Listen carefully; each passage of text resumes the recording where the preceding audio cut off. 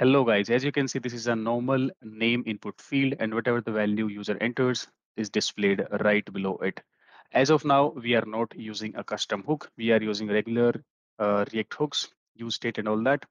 Now, what if I want to share the same logic across various components? So let's imagine I write a new component there I have to import use state and then I have to pass this value and this on change and then write this uh, handle input handler, correct? Now to avoid all that, we can write a custom hook. I have already written that, so let's go through that. I have written a use input hook, custom hook, which takes an initial value if provided, otherwise an empty string.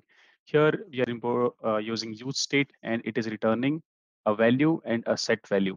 Finally, this use input hook, uh, custom hook, returns an object with two things. One is value and one is on change. So if you remember from the input, we have value and onChange attribute. Similarly, in the custom hook, we have value and onChange property.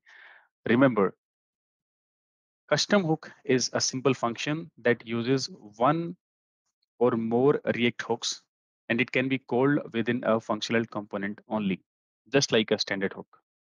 Okay, so let's go to app.js. Here, first of all, with that, I can get rid of this and I can delete the handler and I can delete this value and on change. All this will be replaced by the custom hook. For that, I'm just going to write const name is equal to use input hook and pass empty string as an initial value.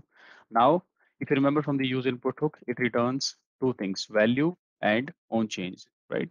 So this name has name is basically that object. So to the input, previously we, if you remember, we had value and on change attributes. Now name has both of those attributes. So we can just use a uh, spread operator. And with that, it is passing value and on change attribute to this input uh, field, right?